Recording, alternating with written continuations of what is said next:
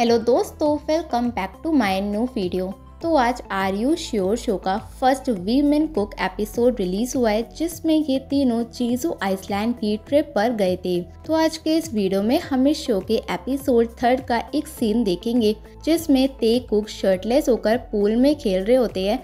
साथ ही साथ हमारे शर्टलेस ते कुक बीमार चिमन को एक साथ बहुत ज़्यादा बुली करते हैं।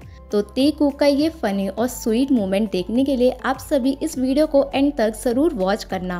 तो ते कुक ये दोनों अपने इस विला के पूल पर खेलने का प्लान बनाते हैं।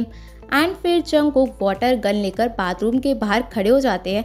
एंड जैसे ही वी बाहर आते हैं तो जंग कुक उसे अपनी वाटर गन से गीला कर देते हैं।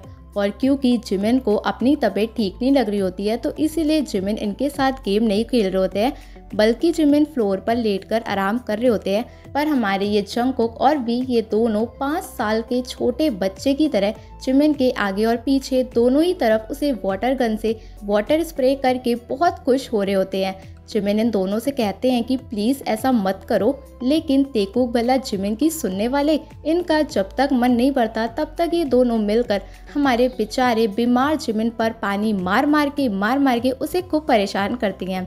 फिर इसके बाद हमारे ये दोनों शैतान पूल में जाकर भी बहुत मस्ती करते हैं। ये दोनों एक दूसरे पर वाटर गन से पानी मारते हैं, साथ में स्विमिंग करते हैं और एक बार तो जंकुक नीचे लेट जाते हैं और भी जंकों के ऊपर चढ़कर सर्फिंग करने की एक्टिंग करने लगते हैं और फिर तुरंत नीचे पानी में गिर जाती है। तो ऐसे करके हमारे प्यारे ती कुक साथ में पानी में बहुत मज़े करते हैं।